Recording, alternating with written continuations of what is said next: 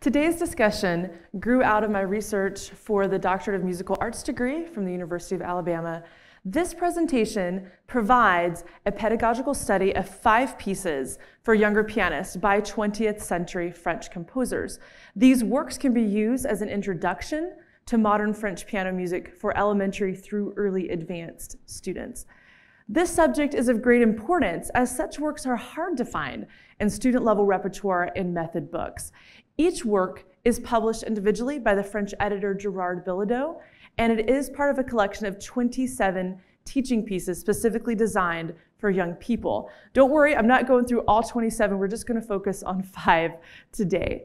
The selections will be presented in order in the order of progressive study, each accompanied with a detailed discussion. I will be showing you five different composers to better expose your student to the French modern style. It is possible to use all five pieces with one student in a graduated manner. However, if you want to pick and choose from this collection to more closely reflect where your student's current level is, that works as well. So I just kind of call this my own mini collection, and I'm so thrilled to be sharing it with you today. These solo piano works equip the student with the skills necessary to play more difficult repertoire in the French 20th century style. I will discuss some examples as we go, and you'll find things such as embracing colorful sonorities, incorporating complex rhythms, meter changes, utilizing special pedaling. All these things will be brought out in these five pieces that I am sharing with you today. And I also wanted to mention before we dive in that these pieces are also suitable for adult students if you have some adult students studying with you. The music uh, published by Billaudot lacks colorful artwork and the large fonts for pieces that are often used for young children. So it actually can go for any age group. And um, if you're thinking, wow, this would really work for my adult student, um, you would find this a great benefit for them as well. All right, so we're going to get started now with the first piece, and this is entitled Jeu by Darius Milhaud. Milhaud was born in 1892 and died in 1974. And just in case you're not very familiar with some of these French composers, I'll pause at the beginning of each piece and give a brief bio about each composer. He was born to a Jewish family, of course, in France. And Milhaud is often recognized as a member of the well-known Les Six, a group of musicians slash composers studying at the Paris Conservatory. He did immigrate to the United States in 1940. He held teaching posts at Mills College and the Aspen Music Festival. He returned to France after 1971 and he became a professor of composition at the Paris Conservatory. He was a prolific composer and he is unique in that he willingly and purposely composed music for amateurs and young children, as well as writing for many different genres.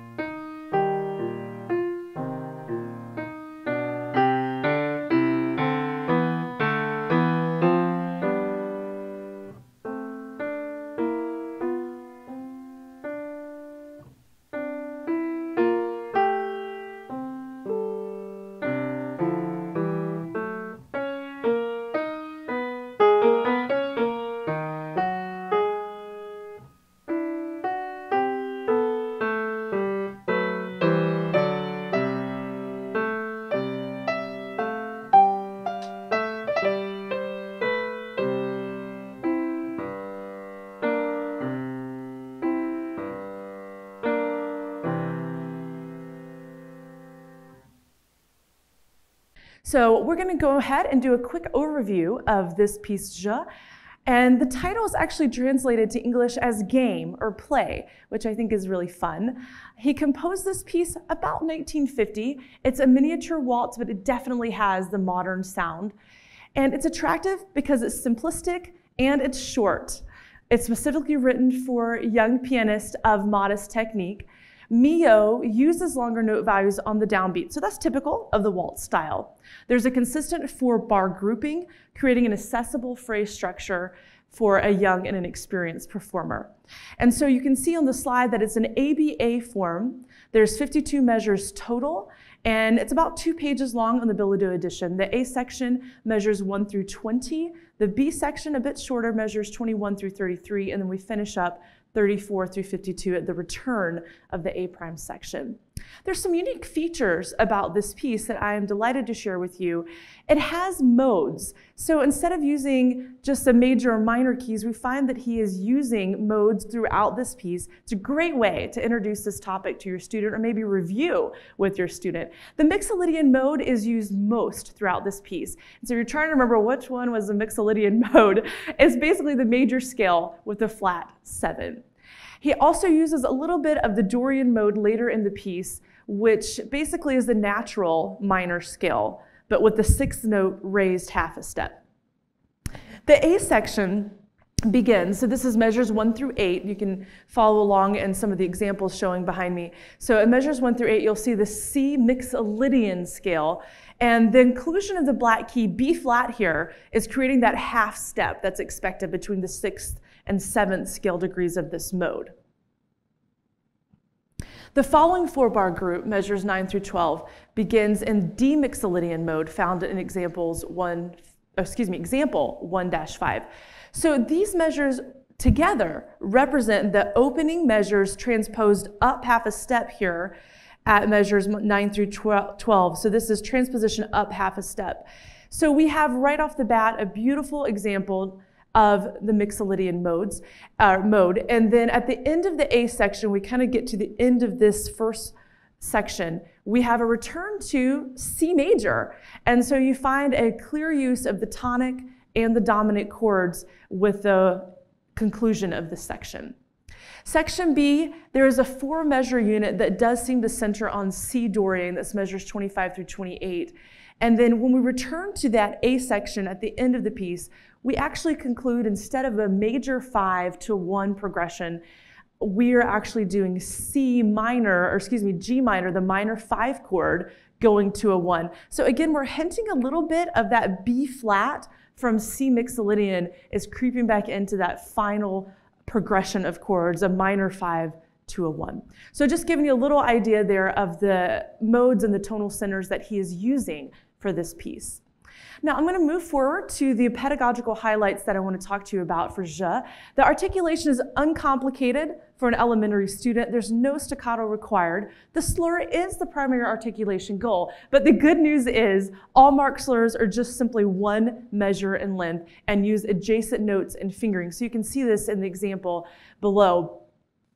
So there's three measures here. You notice in the first measure, the right hand has the legato marked in the D, E, F passage. And then the left hand on the second measure shown, you're seeing the left hand duads, the two note chords there with legato. Um, and then a little bit of the right hand returning on that last set of two measures, you see the legato phrasing there. So very simplistic, nothing um, too stressful for the students. The tempo here is marked without haste or hurry. And so that's advantageous. We're not in a big hurry for these young performers. You can take your time. It's also interesting to note here that Debussy's piece, Le Plus Que Lente, translating as slower than slow, shares this character of an unhurried waltz tempo. So I just wanted to point that out. That's a really neat connection. The tempos are very similar here, and they're both in this waltz of timing. Okay, I'm going to spend a little bit of time on fingering. That's always a big question mark. And this is a great place to start a student uh, with the elementary level. The fingering here in Jeu does include notes both inside and outside the five finger hand position. The fingering suggested in this Billaudot edition does provide guidance, although there are a few places where you might consider some alternative options. So this is the first example I'm sharing with you here. The left hand is covering an entire range of an octave within measures one through three. So you notice the first half note there in measure one. Left hand, we have this middle C. And then by the end of measure three, we're an octave lower on that C there. So how do we get the hand to cover that distance? And I'm assuming with younger students here, maybe not quite comfortable with the full octave span. So the Billaudot edition here marked in the small print right underneath the bass clef, you see that the um, two to three, we're starting with the middle C on finger two, turning the thumb under the B flat, and then we have A, fifth finger D, so just a five finger position. And then you could do a second finger on G and stretch down to that fifth finger on the C. So there's a little bit of a stretch there. You see in the larger format marked letter B that I suggest you could do five or one five one five two five finger positions and just shift down one white key. So either option would be very easy to implement with your student. In example two, you'll notice that the right hand plays all eight tones found in a scale. I do want to be careful here. The composer is not seeking to establish a tonal center, but the fingering use can still be borrowed from scalar passages. So one such passage found in example 1-5 is from measures 9 through 12. And so we start on E we move through F sharp G all the way till we reach the next highest E, an octave above that. So the right hand can easily use the scale fingering from E major or E minor, really. So the one, two, three, cross under one, two, three, four, five. So this ascending pattern gives you a perfect place to insert that scale fingering. It's kind of a fun fact here, I just wanted to point out. The D mixolydian in measures 9 through 12 here shares the same pitch group with G natural minor. So I just, I like to find little tidbits of information to share with uh, students, and so you might find that interesting. All right, also the use of scale fingering addresses hand extensions and helps students to immediately plug in knowledge they already possess. So it's a win-win situation there. Tackling the ever-present fingering puzzle in smaller works like Jeu is valuable, and in this case could eventually translate to a bigger piece, such as Debussy's Children's Corner, uh, the Jimbo's Lullaby about the elephant here. This piano work begins with a left-hand solo that can be played within the five-finger or pentatonic hand position, but then moves into more extended hand positions, obviously. So you can see here on the clip below, the fingering, um, the fingering marked with the letter B is alternative fingers that uses a stronger third and fourth finger on the repeated notes C and D. But the letter A keeps everything within that five finger motion. So all the way through those uh, opening measures of Jimbo's lullaby, you could use that five finger position. So just showing you a little tidbit of something from a larger piece, a larger French piece. So at the end of each piece, I will pause and we'll talk about for what students would this piece be appropriate. So I said, well, we're using scalar finger patterns. There's no pedaling, the textures are thin, there's a limited dynamic range, the tempo without haste, that's a plus, a familiar ABA form set up in the modern style. The largest interval span is an octave, and at times, Milhaud even creates this distance between two hands instead of just the one hand that we discussed.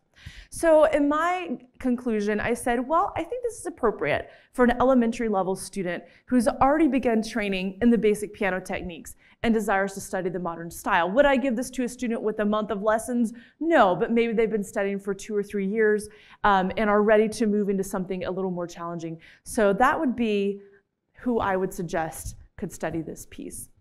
The second piece that I'm sharing with you today is quite a long title in French. So it's Petite Suite Serieuse pour concert de famille by Betsy Jolas. And it translates in English as a serious petite suite for family concert.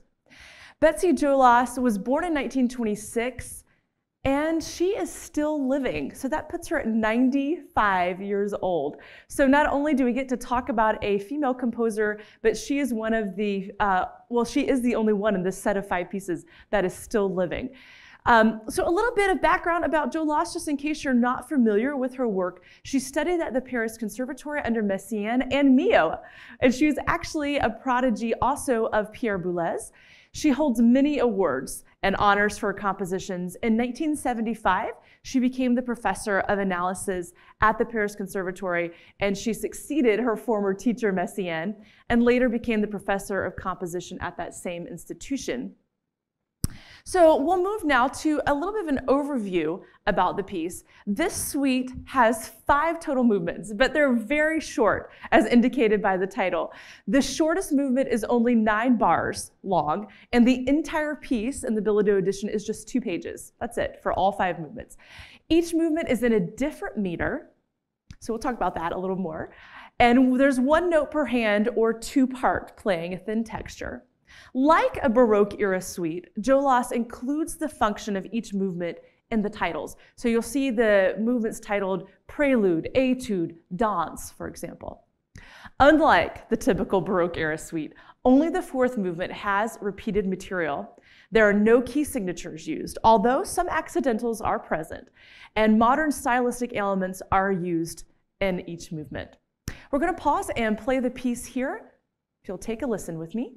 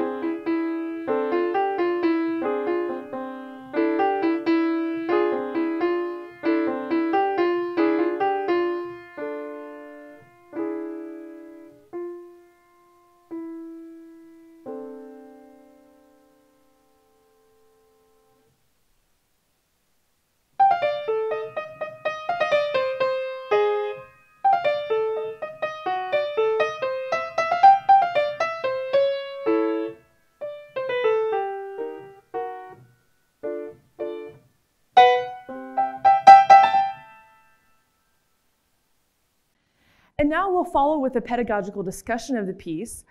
It's best to ID the use of five finger hand positions throughout each of these five movements. So I really feel that her compositional strategy here throughout the suite was using five finger hand positions in all of the movements. So um, the way she approaches it is these five finger hand positions can promote performance in different registers and locations on the instrument. So it's very exploratory. Jolas does not attempt to validate a specific tonal center, but she rather explores the pitch possibilities available within those five finger spans chosen. So it really creates this fun, exploratory approach for students and helps them to avoid getting stuck with the concept of one hand position. I know uh, years ago when I first started teaching, some of the most popular uh, repertoire books had the students stay within this kind of middle C hand position for, you know, depending on how long the student stayed in the book, three months, six months, nine months. And by the time you move from C position and started going, well, this is G position, I remember the student would just be so kind of flabbergasted, like it's a whole new world when we move hand position. So Jolas is bringing in, well, it could be D, E, F sharp, G, A, or D, E, F natural, G, A. So she's very open about different possibilities here, and I think that's great for our students. Okay, so I'm going to do a few excerpts here. So the first movement is titled Entree, and it focuses on the D and the C five finger hand positions in the right hand. The left hand is going to focus on the F and the D five finger positions. So I'm going to bring you to the piano here and show you exactly what this looks like.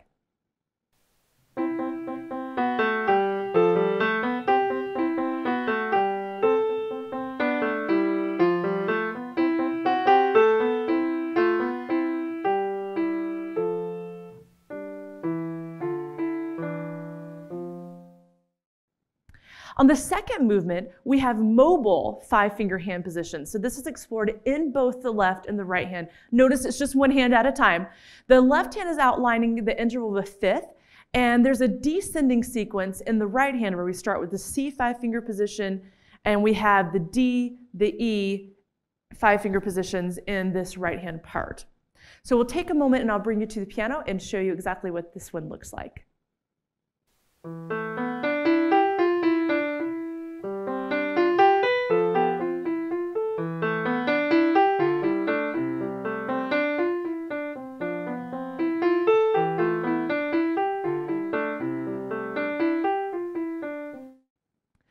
On the fourth movement, which is titled Etude, we have a stationary position.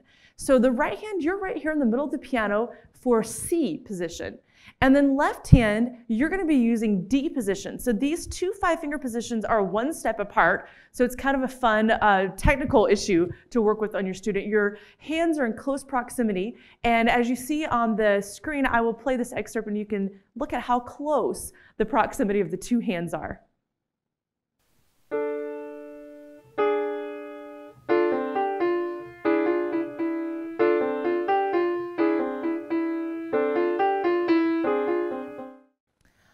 Right, so we'll talk about a repertoire link to other French pieces of a larger scale.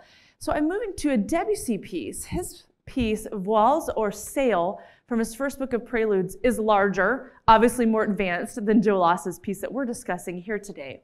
Yet the similar use of five finger positions is a technical skill needed in both pieces.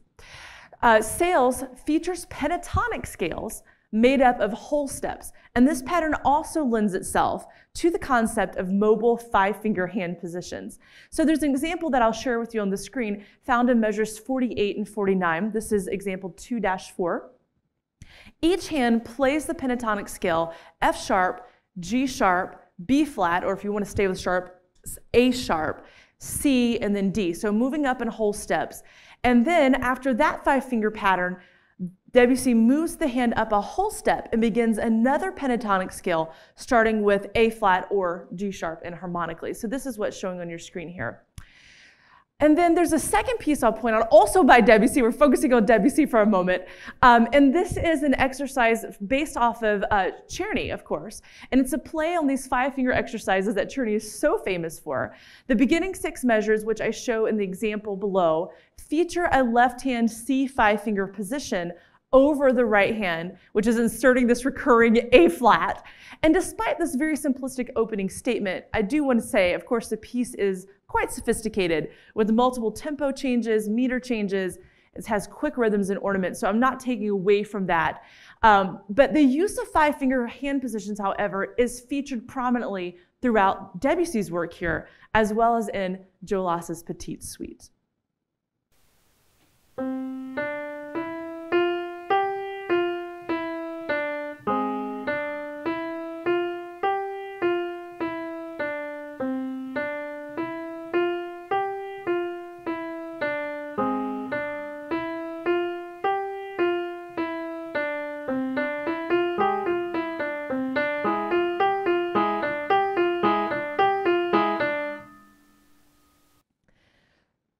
Mentioned in the opening statements about this work, there are five different meters. So every movement is in a different meter. The entree is in 2-4 time. Prelude, the second movement, is in 6-8 time. So here, Joe is encouraging the pianist to group the notes into the larger two beats per measure. She does this by indicating the tempo in terms of the dotted quarter note and stemming almost every measure in two groups of three eighth notes, which is customary for this meter.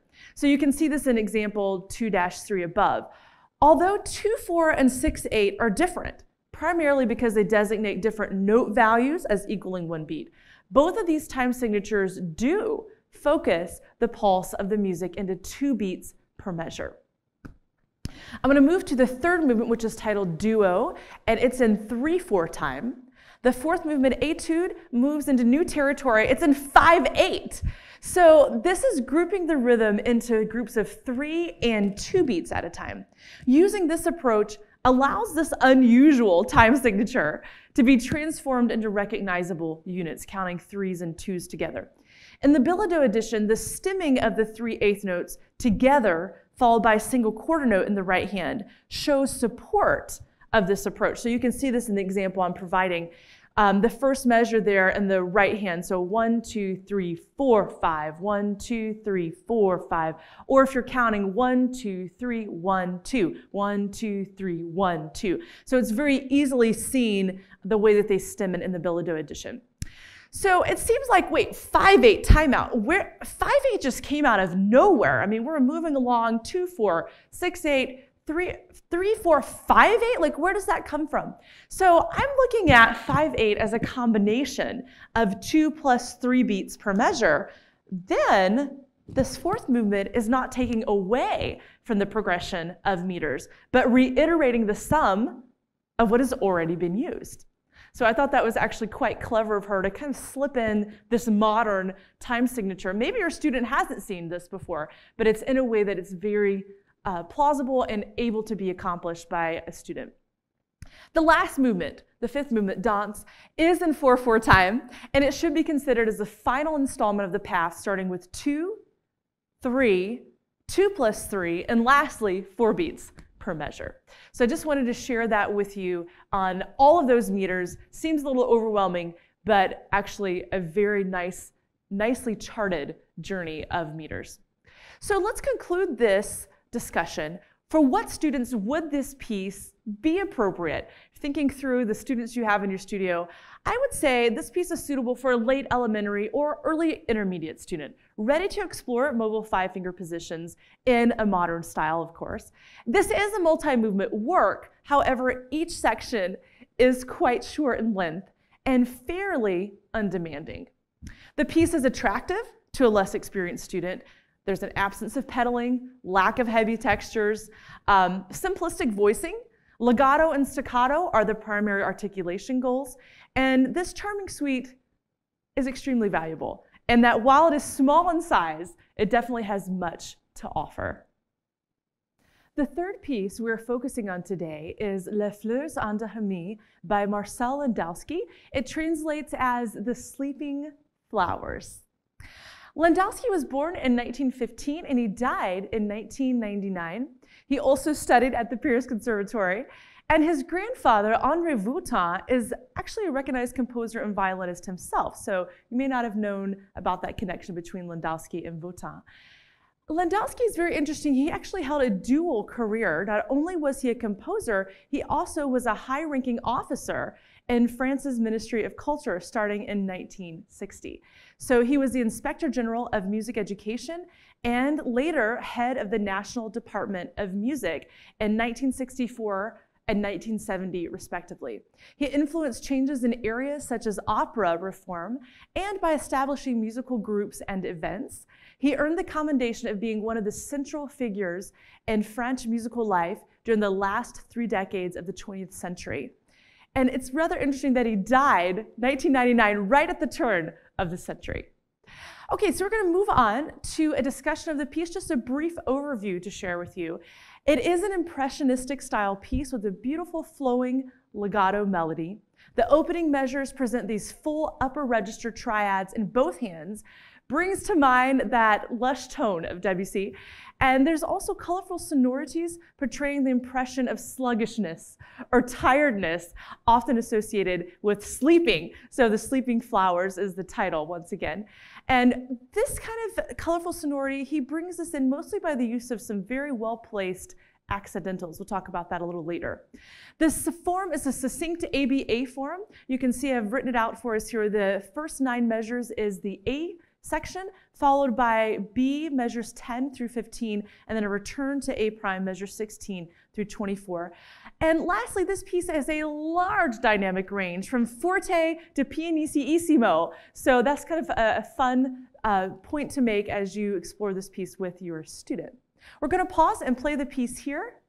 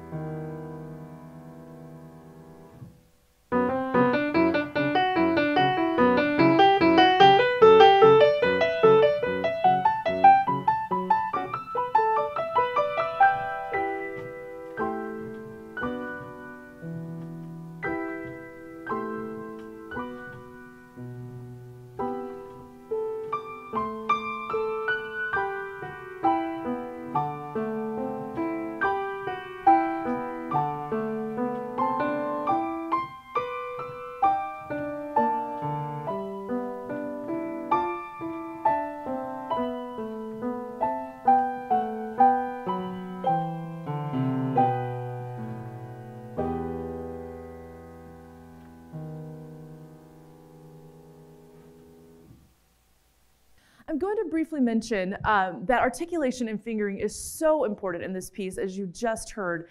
And actually, there's so many points that I just love to spend all day discussing with these five pieces, but I'm just trying to narrow down um, each of the pedagogical focuses to just kind of one main point. But I do, did want to mention the articulation and fingering. You've got to have these beautiful legato phrasings. It's important in every measure. You need that technique of legato fingering and um, the B section in measures 10 through 12 especially offers an interesting study in articulation. You have the left hand marked, as you see on the screen, with legato, mezzo piano, and then legato for the right hand marked mezzo forte and then later moving on up to the forte. So you have two different articulations being performed simultaneously there. And the fingering, the first problem really that initial measure, you see connecting three legato triads is required in both hands with the melody in the right hand, that upper right hand voice. So being able to talk about that and work on the voicing issues um, is going to be a big point about this piece. A similar voicing issue is found in the repeated chords in measures four through five. This one's also shown in the musical example below.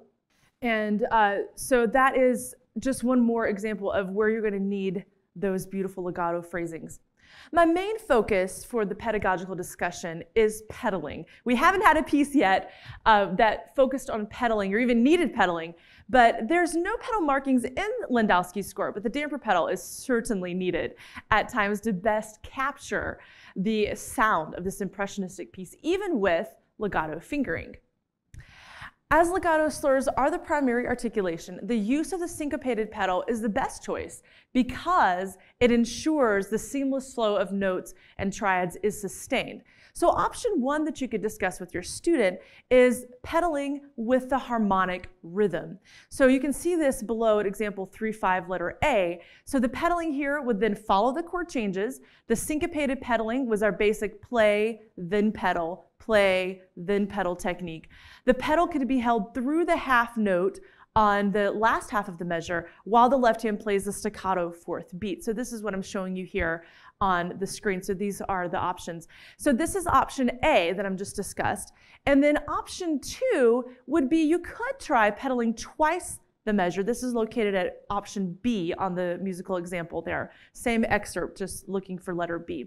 So you could pedal twice a measure at the half note rhythm, and this creates more of a synthesis of the two triads on beats one and two that results in this lovely shimmer of sound. More impressionistic, basically.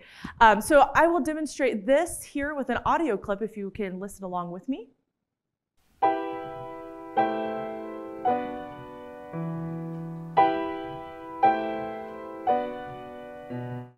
Connecting these first two triads definitely opens up a higher plane of sonority, and that more closely fits the impressionistic style. I think it's more appreciated, um, and as your student gets more comfortable with the style, I think they'll begin to appreciate it as well.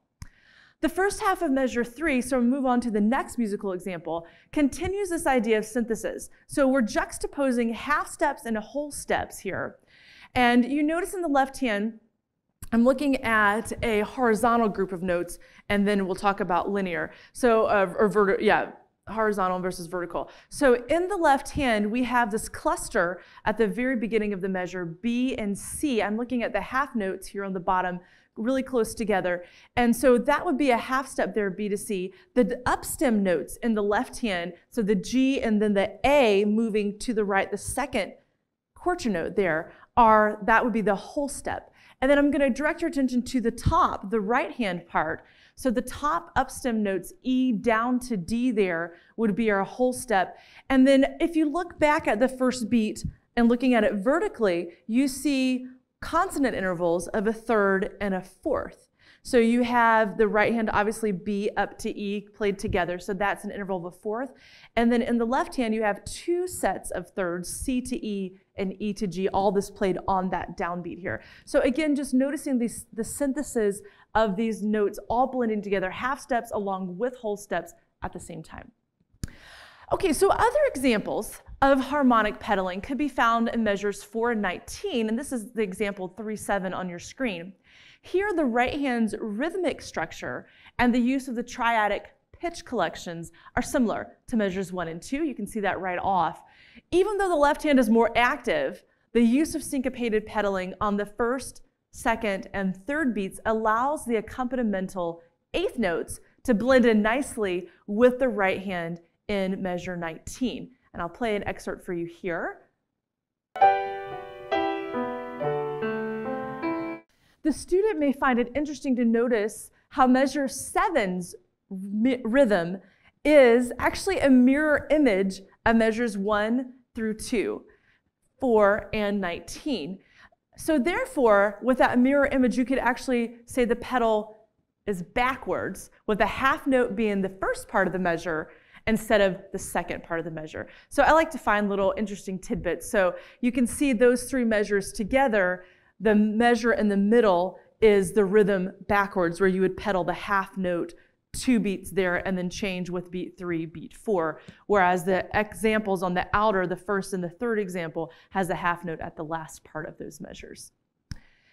Now, when we talk about pedal, the other discussion is should we use a full pedal here, a full depression of the pedal? Should we have a shallow or partial pedal? So while the A section is filled with legato slurs, the pedal must be handled with care so that the musical intentions of the composer are not clouded. Isn't that a sermon we preach all the time to our students? use the pedal carefully. The use of partial or shallow pedals is important here. Um, a full depression of the damper pedal in sections with that active left hand, those eighth notes accompanying accompaniments, get my words out here, such as found in measures four through nine, we showed that earlier, creates balance and texture problems. So you don't want to have just this complete sludge going on with the full depression of the pedal. So using shallow or partial pedals still allows for fullness and connectivity, yet it doesn't cloud the texture. There are a few places in which the full pedal would be a benefit, however. So the initial bars of the A section with its full-bodied chords and both hands, you could really gain a richer sonority with the full use of the pedal.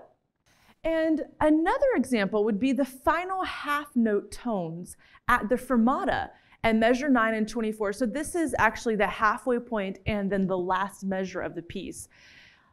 This is shown in example 3-9 on your screen.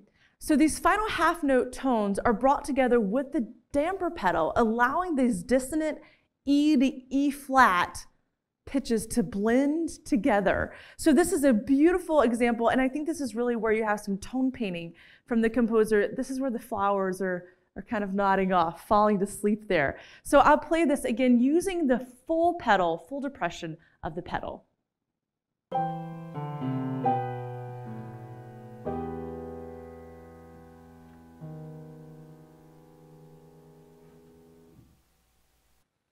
Now, I do want to comment The damper pedal is not needed at all for the majority of the B section. So this is found in measures 10 through 15, mostly because there's a light staccato accompaniment in the left hand. And it's very energetic, it propels the tempo forward here. So using the pedal would kind of negate that whole action. The right hand then is solely responsible for the legato phrasing, and this is accomplished with the help of strategic fingering and articulation, which is shown in the Billaudot edition. So I'll share a short clip of that with you no pedal used here.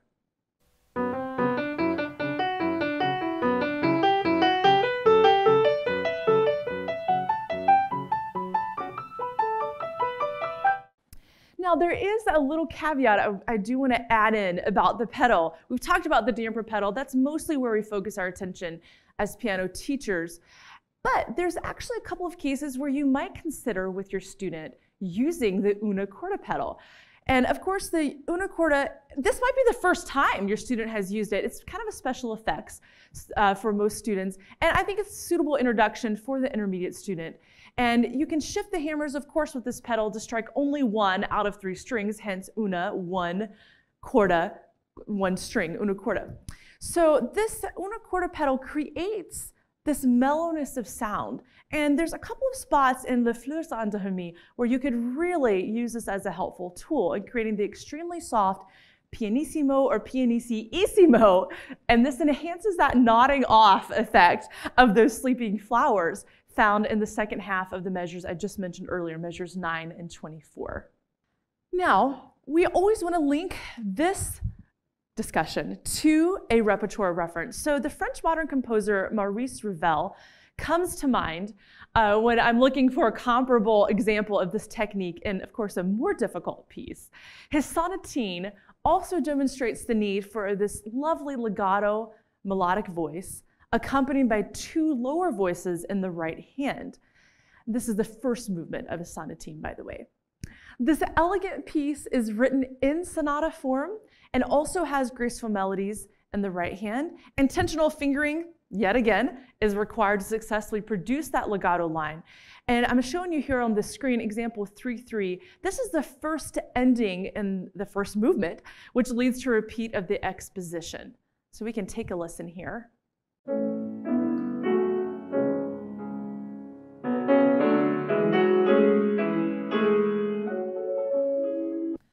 And as we lead to the conclusion of our third piece together, for what students would this piece be appropriate? Landowski provides the teacher with a miniature in the Impressionistic style. The beauty of this work lies in its simplicity and brevity. The key signature of E minor is familiar. So students learning that relative minor relationship to the major keys, this would be something they could latch onto and bring into their study. Use of a few additional accidentals that show the composer's tone painting they are present, but not overly so. The phrases are short and articulation brings variety. While there are many opportunities to address issues such as pedaling, fingering, large dynamic contrast, I didn't get a chance to talk about that in this discussion, but there are large dynamic contrasts. This selection is still well within the grasp of an intermediate student with three to five years of training. So of course, this is dependent on your student's personal needs. So you may have a student that's been studying five or six years, and this is perfectly within their level. So I'm just giving you kind of a large range. This is about the area that you could assign this to a student. So we are now to the fourth out of fifth pieces in our discussion today. Thank you for staying tuned in. This uh, fourth piece is titled A la manière d'un violon by Raymond Loucheur, and that translates to In the Manner of the Violin. More about that later. A little bit about Loucheur. He was born in 1899 and he died in 1979. He's a well acclaimed composer and teacher, and he studied under Nadia Boulanger and Vincent d'Indy, so you may recognize some of those names. His cantata won the Premier Grand Prize of Rome in 1928 and he was awarded the Bizet Prize in 1935. He was actually a predecessor to Landowski, so he also held public office. He was the chief inspector of musical education and then later the inspector general of state education in 1940 and 1947, respectively. And then later on, he went to be the director of the Paris Conservatory for six years, starting in 1956. So, three major roles there that he played. He um, composed works for flute, harp, orchestra, chorus, chamber groups, and obviously piano. Loucheur's music is lyrical, yet unashamedly uses chromaticism. So I really love that statement, unashamedly uses chromaticism, and we'll definitely talk about that also a little later. Also want to just include a small personal note. Why did I include this piece? When I was going through, there's 27 pieces total, as I mentioned. Um, this title really stood out to me. Um, I actually am a violinist as well as a pianist. And so when I saw this title in the manner of the violin, I was just intrigued. How can we bring the violin to the piano? What is he talking about? How is this going to work? And so that really, uh, you know, got my interest up. And then I um, started studying it, and it actually fell in line with my mini collection um, with my graduated levels of pieces. So I just wanted to point that out. It's, it's a very personal piece to me, as well as falling into this collection that we are creating together.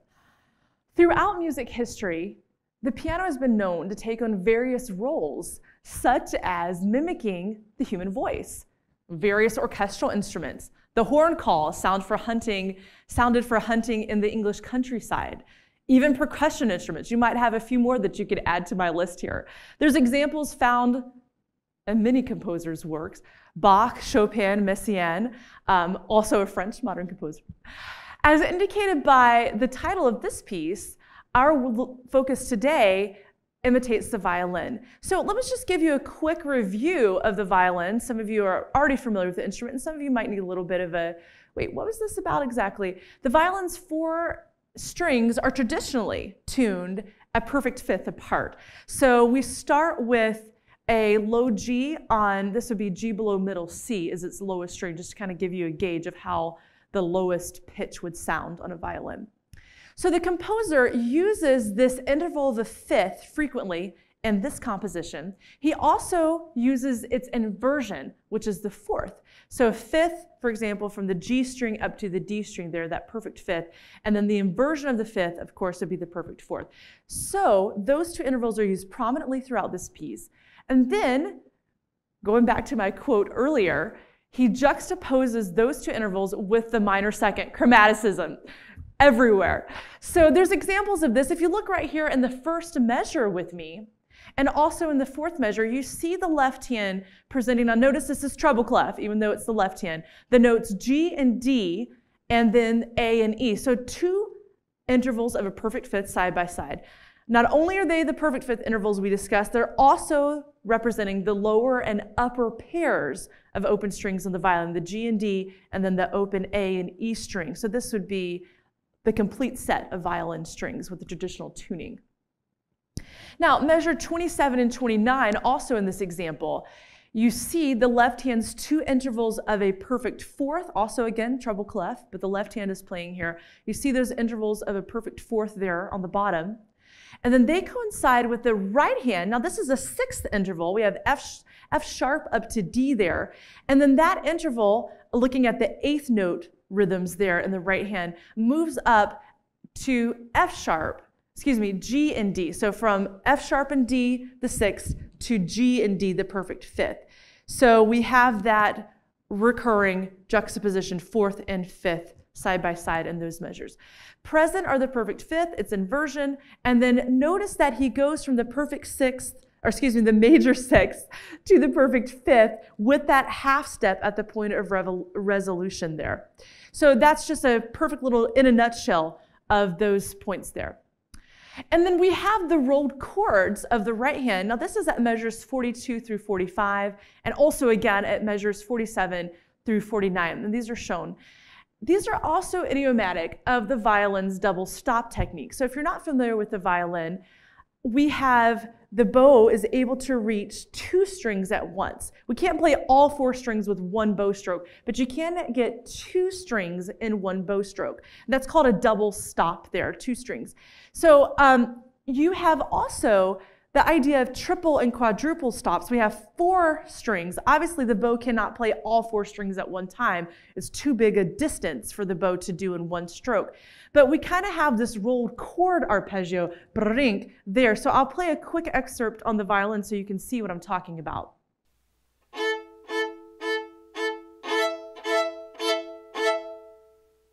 So you'll notice the use of the intervals of a perfect fourth, E, to A and the perfect fifth that same A up to E again. We're reflecting those two uppermost strings of the violin. And an interesting correlation here is that the arpeggiated harmony chosen in measures 42 and 43 specifically is easily translated to the violin through those open A and E strings. From a violinist perspective, even the beginning six bars could be played on this instrument by using that double stop technique of bowing two strings at a time. I'm going to pause here now and let us listen to this entire piece, and we'll come back and do a little bit more discussion.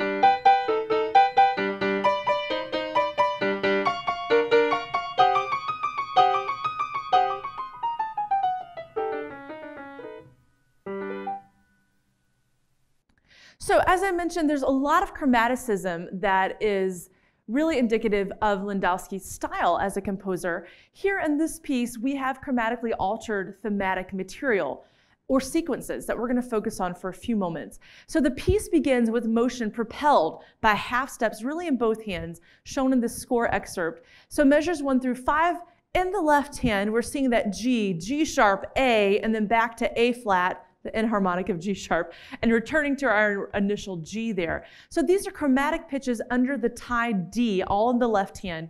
And so we have above that in measure two, the right hand half step motion goes through measure two, it repeats in measure four the same A and E there, and then it moves that A to a B flat up that half step. So the right hand's chromaticism is, is not as big a motion, but you see a slight shift in that bottom right hand note.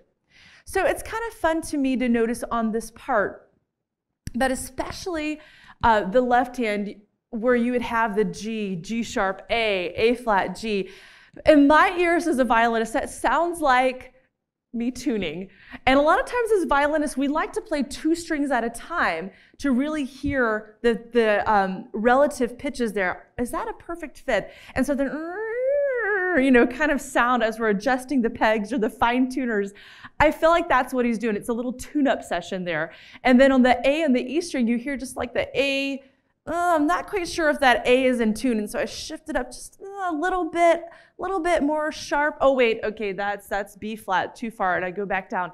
So I, I found it really amusing. I was just kind of grinning to myself as I was playing this on the piano because I was totally hearing this through the ears of a violinist. Okay, so anyway, back to our chromaticism. Loucheur returns to this thematic idea of chromaticism by using transpositions and inversions of this three half step pattern that I just introduced in measure one. So measures 41 through 44 is where we're going to focus, and we're leading later to a flourish of half steps on the downbeat of measure 45. So using the left hand's chromatically ascending pitches in the first measure seen above, and the example 4-3 as a motive, notice that the pattern is now turned upside down in measure 41. So instead of ascending, we're finding that the notes are descending. This is shown here in the example on the screen. And then this motive is also transposed, beginning with a minor third above the initial G from measure one. We're now starting with B flat. The final four measures of this work again focus on the motive beginning in the right hand, and so this is shown below. And measure 59 moves the motive from the right hand to the from the right hand to the left hand, and we have the final E flat leads to a half step resolution, E flat to D in measure 60. So the composer is actually connecting the first and the last measures of the piece with the left hand's open fifth statement of G and D. Again, those open strings on the violin. The left hand does show other cases where chromatic movement is of high importance. The left hand's the lowest voice is outlining, out, excuse me, outlining a sequence of half and whole steps in measure 12 through the downbeat of measure 14, G, A flat, A, B flat, and C. So look at the lowest, the downstem note. You can follow that progression there with me. Then this pattern shown in example 4-6 is repeated almost exactly as a transposition. So you see right below that the second musical excerpt beginning a half step higher at measure 19. So you see again the downstem notes G sharp, A, B, C, and then the last measure, D there. So if you put those two together, looking at the first measure of both examples, you see G in the first example, and then the second example is G sharp. So you see that it's just shifted up that half step. Meanwhile, the right hand's upper notes in these same bars, still looking at the same examples, um, reveal a complementary half step motion that then finishes the musical statement with the intervals of a perfect fourth. So I'm looking on the second system of that previous example, and you see half step motions there. I believe it's B to C on the very first one. And then linking this to some French repertoire, Debussy's Fireworks from Preludes book number two is where I'm going to point your attention at this time. Students will find that identifying and successfully handling sequences that are altered by transposition are skills also needed in this more advanced piece. The two upper staves that I'm showing you in the example introduce a system that is manipulated by neighboring intervals of a second, chromaticism. So in this case, the changing upper voices are indicated with the up stem, while the repeating inner voices have a down stem. So just kind of giving you a little bit of a view. We're just a snapshot, so I'm trying to explain here. Notice how the notes in the second staff repeat the notes from the upper staff an octave lower. In the first two bars, the sequence moves in half steps. The upper voice is moving down a minor second. So we have a C sharp to B sharp. And then up a minor second, C sharp to D. But in the following two bars, the composer transposes that passage. So we're beginning a fourth higher at F sharp. This is measure 59, initiating a whole step motion moving down a major second. So F sharp down to E. And then we finish here with a major second up, G sharp, and then it descends a whole step to F sharp. So not only is there a transposition of the pitches, but also an enlargement of the original half step interval to a whole step. And so this is, uh, of course, a much more complicated work by Debussy using the same skill. A pedagogical note, you heard this in the recording, I did not want to neglect to speak about this, is there are obviously repeated 16th notes as a featured rhythmic motive with, throughout this work. The function of this of these notes alternates. Sometimes they have an accompanimental role, and other times it's a melodic role. So it's important for the student to understand the difference between these two primary roles, as well as how to implement the techniques required for each. So I could spend a whole nother session just talking about this particular focus of the piece, but I'm going to mention it because there's a contemporary example um, In Ravel's piece, where you have this ever present 16th rhythm, and this is found in the Toccata from the Tomb of Couperin, again by Ravel. And it also has a similar function to those in Loucheur's piece. So I'm going to show you here on the screen. And the final outcome of Ravel's piece, these passages, should be a clear layering of textures, resulting in an easily heard counterpoint at the eighth note, accompanied by the rhythmically active sixteenths. And as we conclude our fourth piece here, for what students would this piece be appropriate? So I'm thinking at least an upper intermediate level student would find this piece within their grasp. Pupils at this level, we're thinking they've already encountered some balancing issues be between the hands. They probably have experience with chromaticism from previous studies and have also addressed the idea of alternating fingering, which is something that will come up in this piece. The use of basic intervals, perfect fourth, perfect fifth, intervals of a half and a whole step, there's, creates this comfortable reach for the hand, so that's very doable. The range of this piece covers the middle to upper registers of the piano encompassing about two and a half octaves total. As a result, the student is not required to play in the lower registers or to even read the bass clef. Remember, the violinist doesn't read the bass clef either, so he obviously kept that in mind when composing this piece. No pedal is needed. The most complicated rhythm in this piece is the sextuplet. And although this piece is longer in length than the one I'm about to introduce as our final selection, the skill level here require uh, the skill level required here let me get that straight uh, makes it accessible to a lesser advanced student than the fifth piece that i will introduce. So we have now reached the last piece in my mini collection. This is l'histoire de Babar or the petit elephant by francis poulenc. And you're probably familiar with this composer but he was born in 1899 and he died in 1963 you may recall he's known for his simplicity. He often incorporated folk tunes and music from the cabaret in his works. His mature pieces, however, show a marked interest in religion, and his music is often ranked with fellow French composer Messiaen. Poulenc's music, music embraces the tonal and modal systems. Chromaticism, when used, is mostly in passing, and his pieces display his love for beautiful melodies and uncomplicated accompaniments.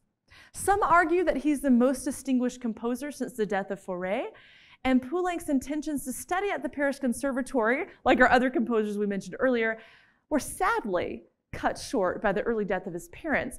However, he was a pupil of the pianist Ricardo Viñes and was also a member of Les Six, along with Milhaud earlier.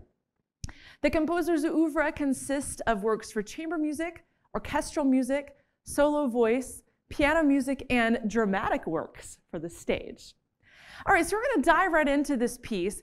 The story of Babar originates from a French children's book of the same title from the author Jean de Brunhoff in 1931. So I absolutely love the backstory of this musical piece. The plot centers on the little elephant, Babar, who is orphaned after his mother is killed by a hunter. So it's rather a dark start to this book uh, by Jean de Brunhoff.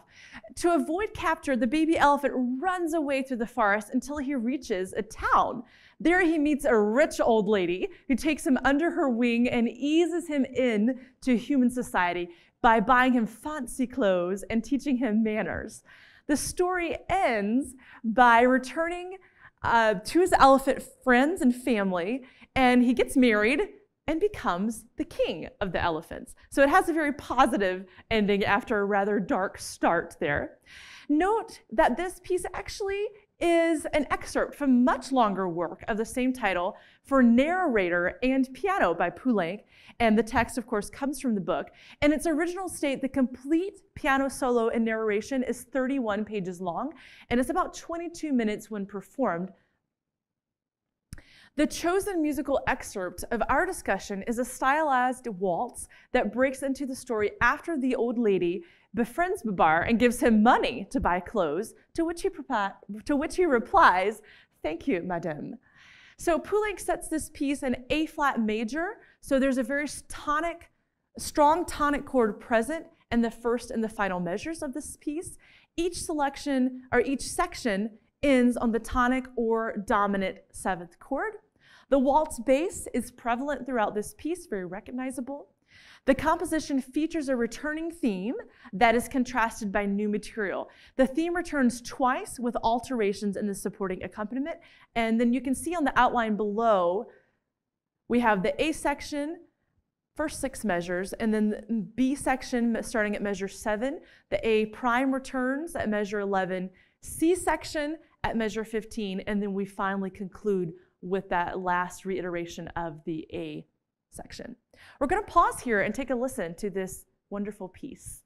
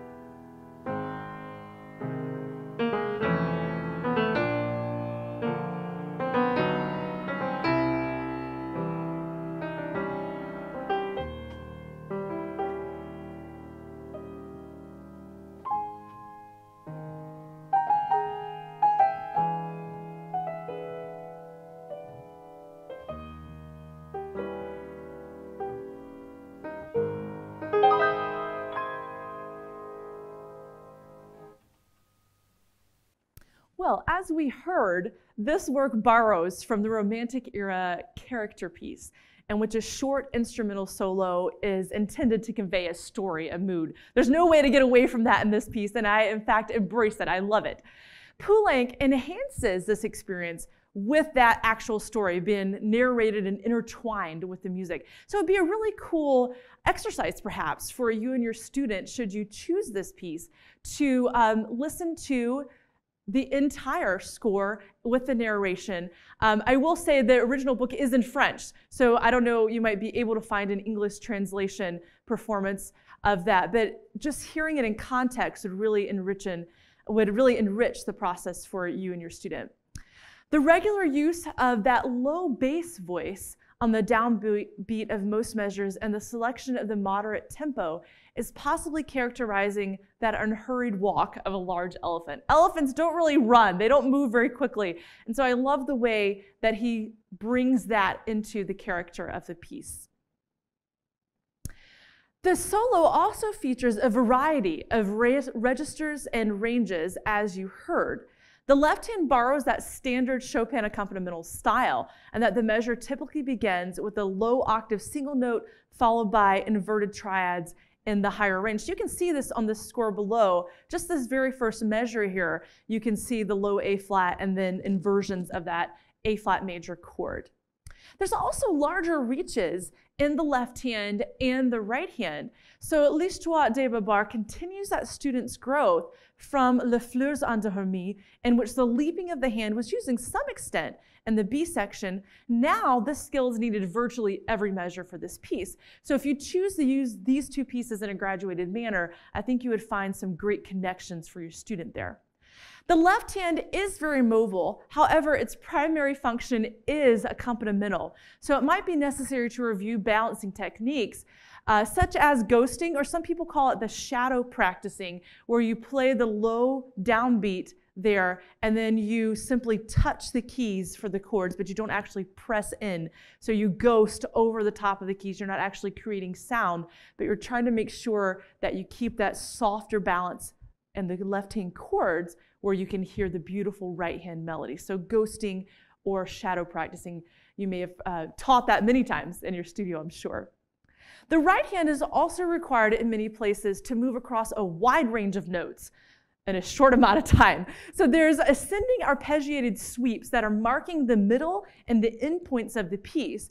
Poulenc here is using an inverted A flat major triad played across three octaves, yes, three octaves, as a brilliant splash of color before moving into new melodic material. So you can see this on the score at the end of this measure. You have basically this gigantic grace note leading to beats two and three on measure 14.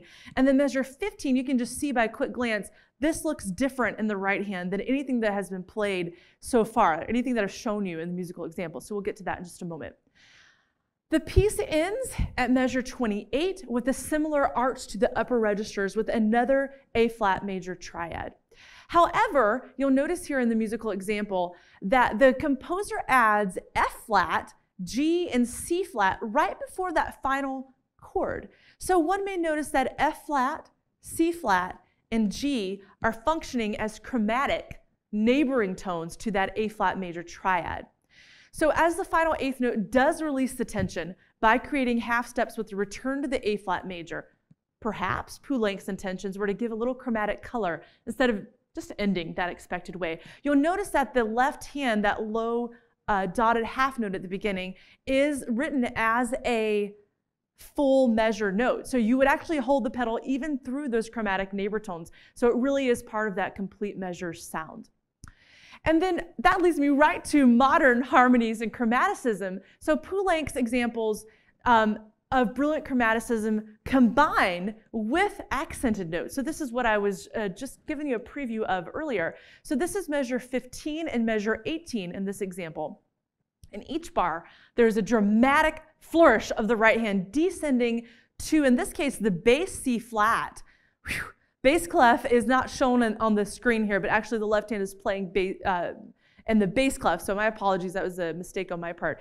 So the left hand is in the bass clef and the right hand is in the bass clef. You notice that the left hand will swoop over the right hand at one point, and so by beat three of measure 15, you're in the treble clef left hand. So it's a lot of hand crossing there to think about. So, about the chromaticism, though, returning to that topic, these are the only bars in the piece specifically marked forte. They definitely signify a change of mood as well as volume. Perhaps this section is best understood as Babar having a flashback to that traumatic event of his mother's death. Remember, he was just a, a, small elephant calf here, and seeing that, witnessing that, had to be traumatic. So, when I was thinking about this piece, I thought, you know what? This is so different than anything else that he's doing in the previous sections. I feel like that's really portraying the traumatic event there. So we'll pause and have a quick audio clip there.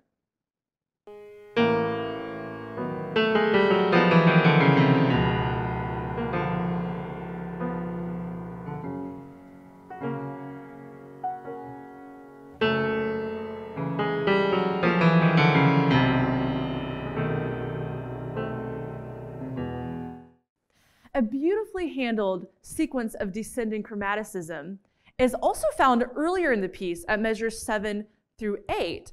So you're going to see here in the upper right hand, you've got these extremely high ranges, and uh, of the right hand also you see there in that first measure an octave higher above that. So we're looking here at B double flat followed by a flat. So B double flat followed by A flat. So that's a half step. You have at the uh, bar line crossing there the G to F sharp, another half step. And then moving forward on that last measure, F natural moving to E, a half step. And then E, right at the end of the measure, you have E to E flat. So all of this chromaticism there in that right hand, just descending, descending in that right hand part. In conjunction with the previous passage, the left hand has beautiful harmonies in the following measures 9 through 10 that are also propelled by that half step relationship. So, with the hand consistently spanning the minor seventh interval, E flat, D flat, so these are the outer voices of the left hand, the inner voices moving chromatically G, A flat, and then B double flat there. So you find that outer voices stay the same, the inner voice, move, inner voice moving by a half step. Okay, so that gives you just a quick idea, but there's so much chromaticism there. You'll really enjoy sharing those studies with your student. And as you also heard on the recording, complex rhythms are prevalent. So the first example I'm going to share with you is even from the beginning of this piece, dotted and double dotted tied notes followed by 30 second rhythms appear often and require that the student consistently subdivide. This is not something you want to put at a guess. You definitely want to count carefully. So in example 5-7, which you can see, this sort of intricacy is found in measures 1 through 4. So in beginning at measure 2, each bar presents a quarter beat tied to a double dotted eighth note beginning at beat 2. Every dotted eighth note is followed by one or two 30 second notes. The downbeat of measures three through four also contain another dotted eighth note followed by a 30 second note. This time there's no ties present, so a little bit of relief there. So the opening measure does contain the previously mentioned tied rhythmic figure as well as additional dotted eighth followed by 30 second notes. However, they are presented in a different order on the first measure, the tied notes being on the downbeat. So I'm showing you all these musical examples on the screen as I'm talking through this. You can kind of visually follow through there. So we will pause if you want to hear an audio clip of this.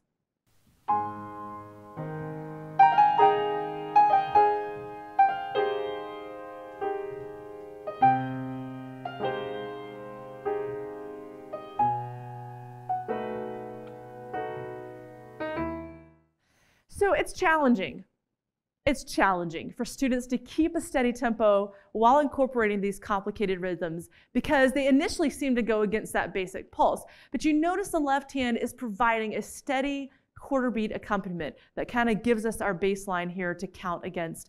So hearing the left hand's entrances on the beat while that right hand is continuing to hold tied notes is crucial in maintaining a steady tempo. So you probably need to do some work with your student on that in the studio.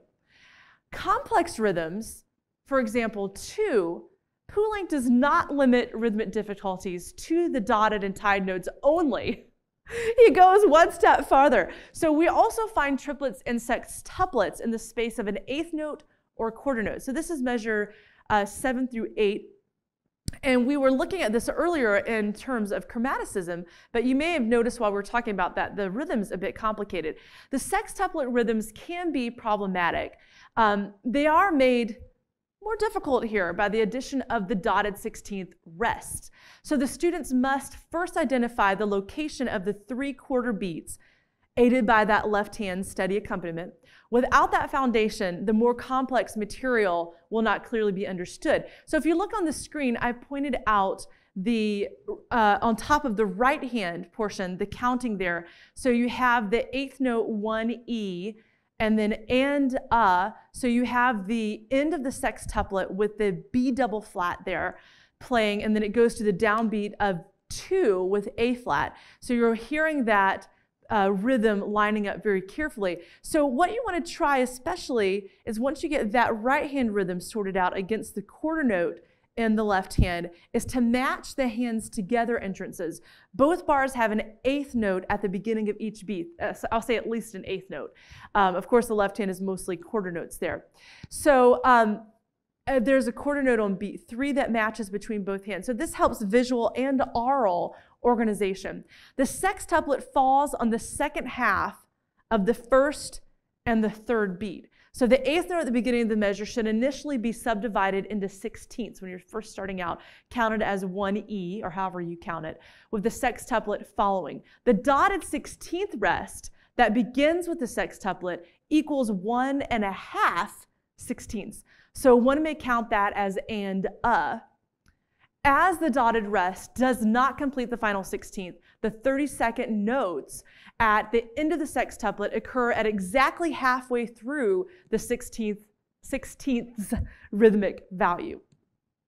Aurally, the sextuplets really kind of sound like a grace note figure before the downbeat, as the score requires the student to perform these rhythms either on or immediately after the final 16th of the measure. So I'm just going to conclude this rhythmic studies portion and say it's interesting to notice how the composer focuses a large portion of the right hand movement on the fourth 16th of the beat. Uh, the author and pianist Levine advises students to look at the rhythm of the composition as part of the personality of this piece.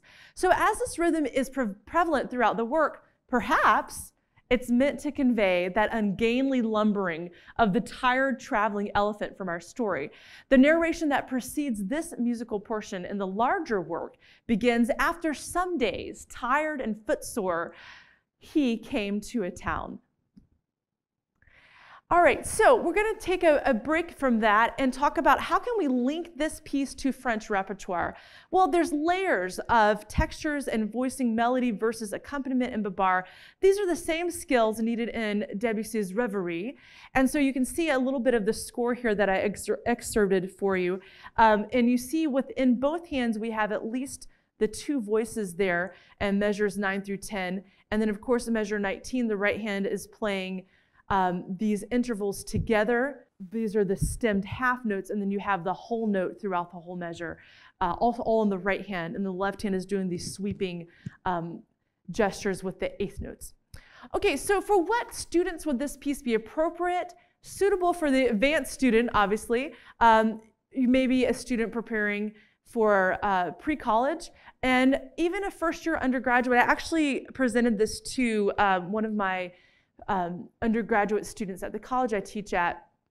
And it was a great introduction. It had some of the more advanced techniques, definitely dove into the modern era, but it wasn't a really lengthy piece. And uh, with the returning A sections, the student feels like, oh yeah, I, am familiar with this passage. And so it kind of gives them a little bit of a, a sense of grounding.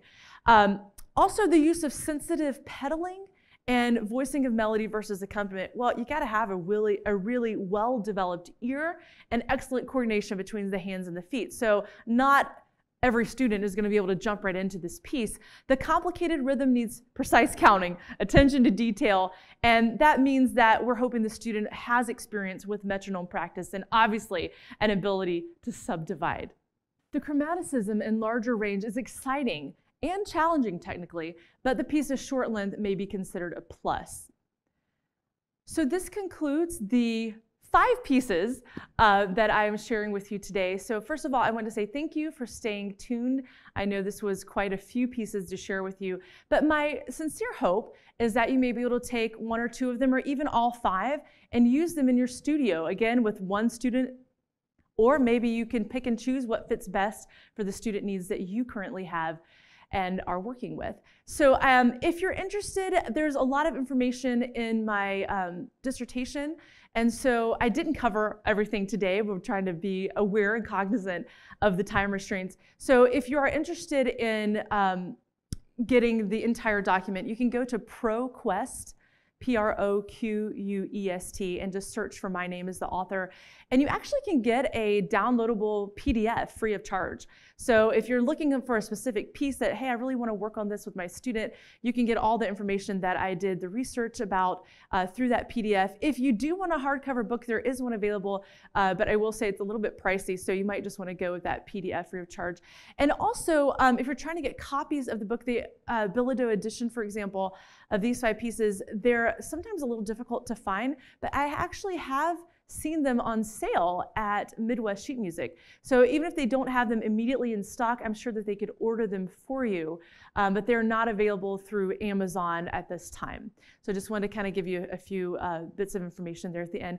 Thank you so much for watching today, and I hope that I have encouraged and inspired you and your students with these five French modern pieces.